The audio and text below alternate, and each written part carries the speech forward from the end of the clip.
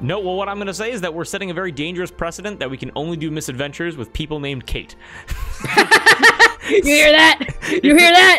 if your name's not Kate, you're never going to be in these You're frames. never gonna be here. It's day one. Day one. Day one. Day two. Kate supremacy. The- those thuds are coming through. You'll never get in the box. Oh, It's oh, mine. This is our Kate's house. only. is my house. Kate's own. Kate's only.